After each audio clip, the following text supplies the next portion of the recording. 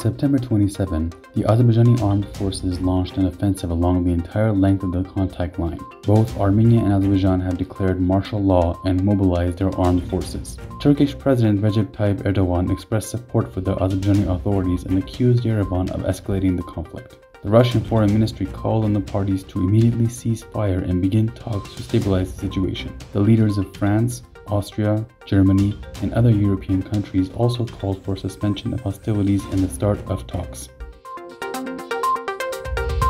Starting today at 10.30 am, Turkey's F-16 fighter aircrafts were released from Gyanja airport of Azerbaijan and ensured the missile strikes in the direction of Armenian settlements and the territorial units of the armed forces of Armenia stationed in the Vardenis, Great Masrik, and Sotk regions of the Vardenis town of Armenia from Dalyar airport of Azerbaijan through Azerbaijan's Su-25 and the Turkish Bayraktar UAV, as reported spokesperson of the Ministry of Defense of Armenia, Shushan Stepanyan on her Facebook page. While completing the combat task, during the air defense battles, Turkey's F-16 multi-role fighter aircraft shot down the Su-25 attacker of the military air forces of the Armed Forces of Armenia in the airspace of Armenia.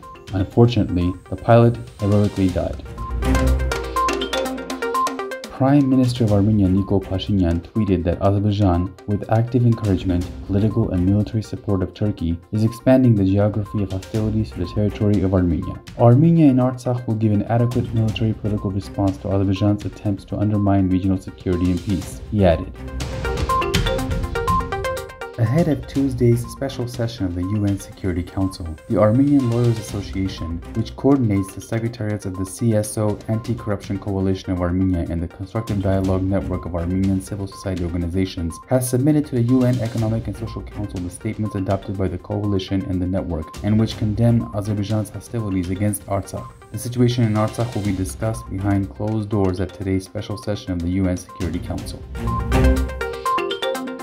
France intends to call for talks with OSCE Minsk Group co-chairs, Reuters reported citing a source in the Elysee Palace. We will trigger in the coming days a coordination of the Minsk Group to clear up what happened, who is responsible, and find a way out, an official at President Emmanuel Macron's office said on Tuesday.